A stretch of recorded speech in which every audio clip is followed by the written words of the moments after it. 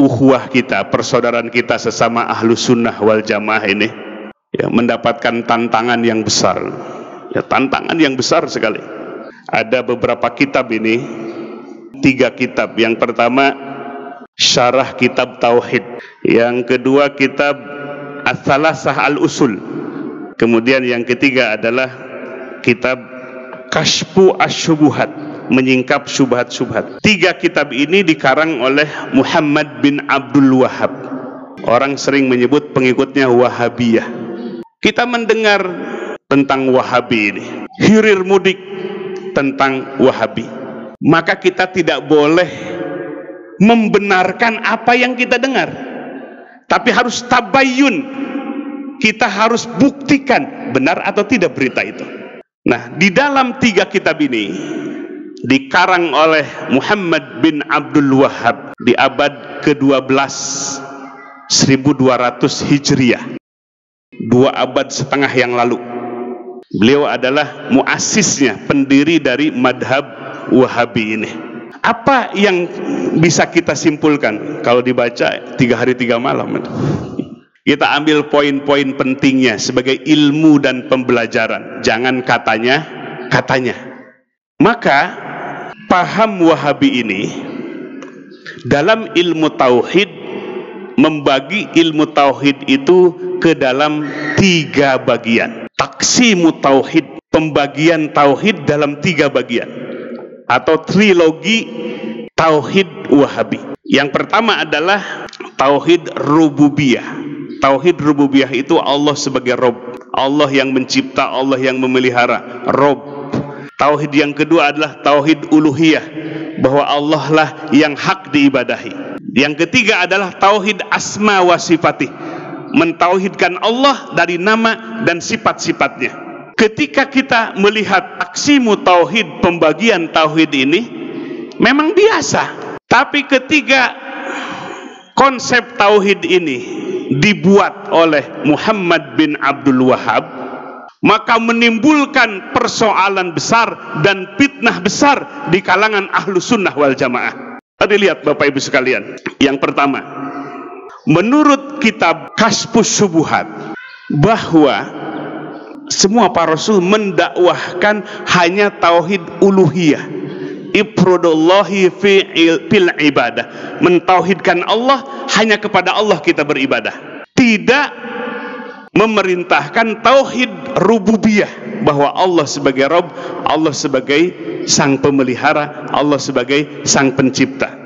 Kasbu as-subuhat halaman ke-40 lama kana ikraruhum bi tauhidir rububiyah alladzi zakarahu Allah anhum wa sajjalahu alaihim lam lam yudkhilhum fil Islam dala ala anna tauhid al-matlub laisa huwa tauhidur rububiyah wa inna ma huwa tauhidul uluhiyah wa huwa al fariq bainal muslim wal kafir. Wa amma tauhidur rububiyah fa kullun mukirrun bihi al muslim wal kafir wa huwa la yanfa wahdah. Disebutkan Bapak Ibu sekalian pengakuan ikraruhum musyrikin Mekah dulu dengan tauhid rububiyah. Jadi ketika ditanya musyrikin Mekah man khalaqas samawati wal ard siapa yang menciptakan langit dan bumi? Layakulunallah mereka menjawab Allah yang menciptakan langit dan bumi. Menurut Muhammad bin Abdul Wahab jadi orang musyrikin itu bertauhid. Cuma hanya tauhid rububiyah. Meyakini bahwa Allah sebagai sang pencipta sebagai sang pemelihara. Sehingga semua manusia mentauhidkan rububiyah. Coba Bapak Ibu sekalian perhatikan, banyak nggak orang-orang yang ateis? Banyak ateis yang tidak percaya, al-mulhid yang tidak percaya dengan Allah. Tapi dalam kitab ini semua manusia bertauhid rububiyah. Ini salah kaprah. Nah, maka oleh sebab itu Bapak Ibu sekalian, dalam kitab ini Muhammad bin Abdul Wahab menuding bahwa tauhid asyairah tauhid yang kita pelajari itu adalah termasuk tauhid ahlul batil halaman ke 57 Bapak Ibu sekalian bahwa Muhammad bin Abdul Wahab menyatakan bahwa madhab Ash'ari adalah madhab yang batal. Hanya madhabnya saja yang benar itu. Ketika ia menjelaskan al-amru perkara yang kedua wahwal ajib yang aneh anna du'atal batila sesungguhnya para dai yang batil. Maksud para dai yang batil itu kita yakunu indahum ada di sisi mereka ulumun ilmu-ilmu wa indahum dan di sisi mereka kutubun kitab-kitab. Wa indahum hujajun di sisi mereka ada hujah-hujah. Yujadiluna mereka bermujadalah biha dengan dalil-dalil itu. Ahlal hak kepada ahlul hak ahlul hak itu mereka. Langsung mengambil Al-Quran falamma ja'athum rusuluhum bil bayinat parihu bima indahum minal ilmi. Ketika datang kepada mereka utusan-utusan mereka dengan bukti yang nyata mereka bangga dengan apa yang ada di sisi mereka dengan ilmunya. Jadi Bapak Ibu sekalian ayat yang dituduhkan oleh Allah kepada orang kafir, orang musyrikin, ditarik, dituduhkan kepada orang yang beriman. Inilah corak penafsiran dari Wahabi. Alladina tawarasuhu min ajdadihim wa abaihim yang saling turun menurun dari leluhur mereka waladi huwa ibaratun min kutubihim wa an hujajihim alati tawarasuha hada waqi'un al-an. Pakam pisahati min kutubi ahlil batil. Ia menyebutkan kitab-kitab ahli tauhid yang batil, kutubil jahmiyah, seperti kitab-kitabnya jahmiyah, wa kutubil mu'tajilah, kitab-kitabnya mu'tajilah, wa kutubul asyairah, dan kitab-kitab tauhidnya madhab asy'ari. Jadi Bapak Ibu sekalian, kita ini pengikut tauhid madhab asy'ari dituduh sebagai tauhid yang batil.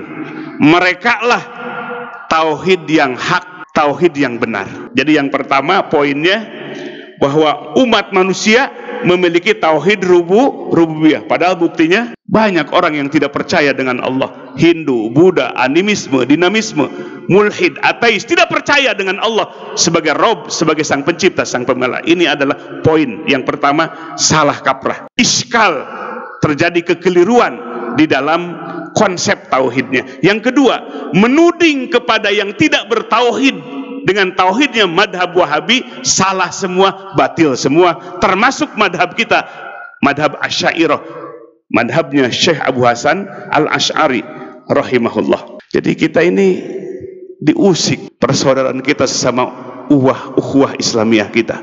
Kalau kita dituding sebagai tauhid batil, Bagaimana perasaan kita Bapak Ibu sekalian? Lalu yang ketiga, ini poin yang menjadi bibit teroris.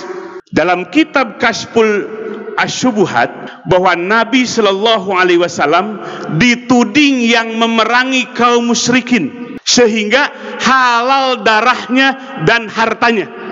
Ini maka kalau belajar kitab ini Bapak Ibu sekalian paham Wahabi maka satu digit lagi jadi teroris. Kenapa? Nabi memerangi kaum musyrikin. Pada sejarahnya Bapak Ibu sekalian, Nabi 13 tahun di Mekah, beliau menahan diri walaupun dizolimi. Saking tidak mau perangnya Nabi mengalah hijrah, mengalah hijrah ke Madinah. Sudah di Madinah dua tahun, kafirin dan musyrikin yang menyerang Madinah. Terjadilah perang badar, perang pertama di tahun kedua. Jadi yang memerangi siapa ini? Musyrikin atau Nabi? Tapi paham wahabi, Nabi yang memerangi, menghalalkan dan men menghalalkan darahnya dan menghalalkan hartanya orang-orang musyrikin. Nah, ini ini yang disebutkan biangnya teroris. Biangnya teror. Padahal Nabi diajarkan oleh Allah ud'u ila sabili rabbika bil hikmah ajaklah manusia kepada jalan agama Tuhanmu bil hikmah dengan hikmah wa mau'idotil hasanah dan mau'idoh nasihat yang baik. Wajadilhum billati ahsan. Yang terakhir harus pun munadoroh atau mujadalah billati ahsan. Dengan argumentasi yang lebih baik. Tapi ia menuding dalam kitab ini bahwa Nabi memerangi kaum musyrikin. Ini keterangannya. Wa tahaqqaqta anna Rasulullah sallallahu alaihi wasallam innama qatalahum. Apabila engkau membuktikan sesungguhnya Rasulullah sallallahu alaihi wasallam qatalahum yang memerangi kaum musyrikin. Jadi menuding nabi yang memerangi siapa? Kaum musyrikin. Wa inna qasdahum al malaikah wal anbiya yuriduna syafa'atahum wa taqarruba ilallah bizalika huwa alladhi ahalla dima'ahum wa amwalahum maka dengan demikian musyrikin itu halal darahnya begitu juga halal hartanya untuk diambil ini adalah ajaran yang menjadi bibit ajaran teroris ini jelas di dalam kitabnya. Iya, kenapa berdalih seperti itu? Mengambil satu ayat. A'udzubillahi minasyaitonirrajim. Fa idang salahul ashurul hurum faktulul musyrikin haitsu wajadtumu. Apabila selesai bulan-bulan yang diharamkan oleh Allah, yang disebut empat bulan ya, yang diharamkan oleh Allah selesai, faktulul musyrikina. Bunuhlah perangilah orang-orang musyrikin haitsu wajadtumu di mana pun kali, kalian mendapatkan mereka. Bayangkan Bapak Ibu sekalian, ayat ini dijadikan dalil bahwa Nabi memerangi orang musyrikin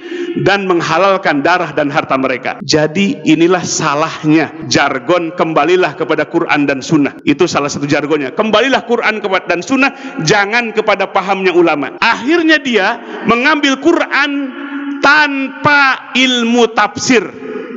Coba lihat dalam tafsir Mu'tabar, ayat ini apa sebab nuzulnya? Sebab nuzul ayat ini karena kaum muslimin diperangi oleh orang-orang musyrikin. Maka pada akhirnya Nabi diperintahkan untuk membalas mereka. Jadi bukan ayat ini memerintahkan memerangi orang musyrikin, tapi sebab nuzulnya adalah karena kaum muslimin selalu diperangi oleh kaum musyrikin dan kafirin. Jadi Bapak Ibu sekalian, inilah salahnya kalau orang mengambil meregu Quran dan Sunnah tanpa izdihadnya, tanpa usul fikih yang benar, maka man fassara Qur'ana bi ra'yih falyatabawa maq'adahu minan nar. Barang siapa yang menafsirkan Quran dengan ro'yunya tanpa kaidah ilmu tafsir, tanpa mengambil dari tafsir-tafsir mu'tabar, maka pada akhirnya siap-siaplah tempatnya neraka. Jadi Quran yang disalahkan, seolah-olah Quran yang menyuruh memerangi musyrikin itu.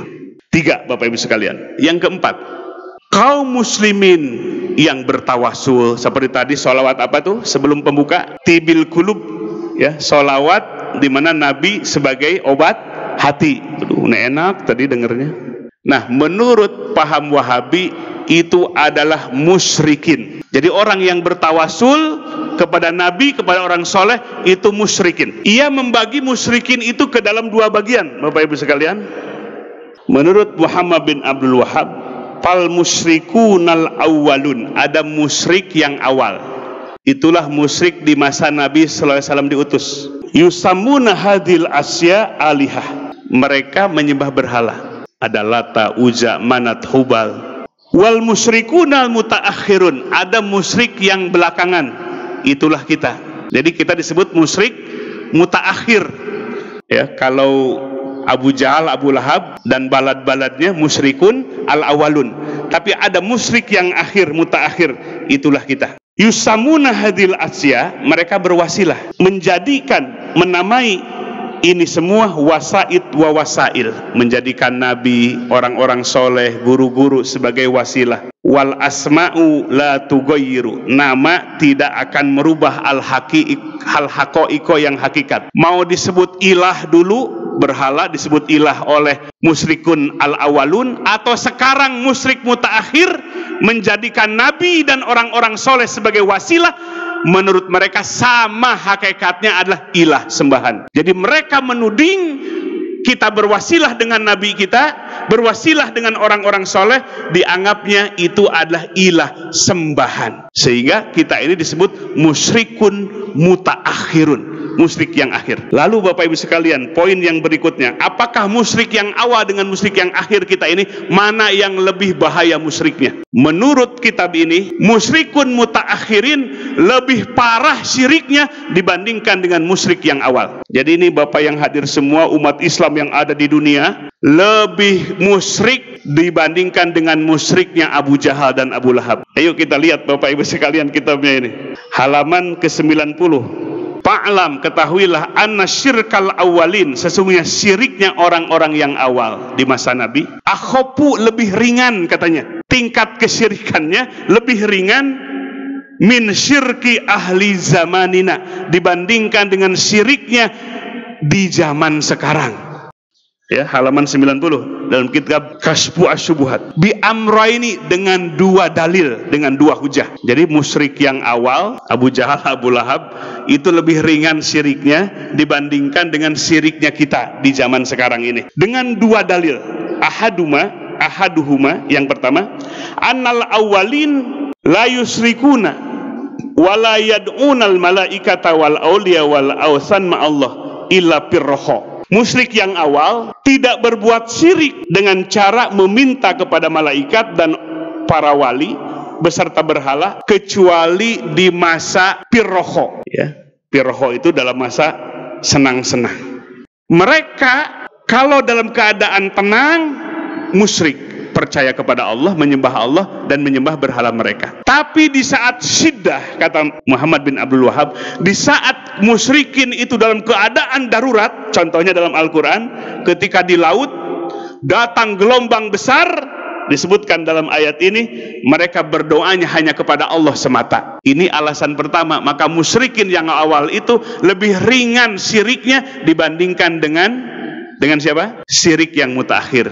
Kalau syirik mutaakhir beribadah kepada nabi dan kepada wali Allah sehingga mereka syirik itu selamanya pirroho wapisida baik dalam keadaan tenang atau dalam keadaan terancam. Selalu menyekutukan Allah. Jadi kita ini selalu menyekutukan Allah. Baik dalam keadaan tenang atau dalam keadaan banyak musibah. Ini sisi yang pertama dalil yang pertama musyrik yang awal lebih ringan musyriknya dibandingkan dengan musyrik yang akhir. Wal amrusani alasan yang kedua, annal aul innal awwalin musyrikin yang awal yad'una berdoa ma Allah beserta Allah unasan dengan manusia muqarrabina indallah mendekatkan kepada Allah ima anbiya baik dengan para nabi wa ima aulia dengan para wali wa imal malaikah dengan para malaikat au yad'una asjaron atau meminta kepada pohon-pohon au haj ahjaron kepada batu-batu muti'atan lillah dengan taat kepada Allah. Laisat asiatan tidak bermaksiat kepada Allah. Jadi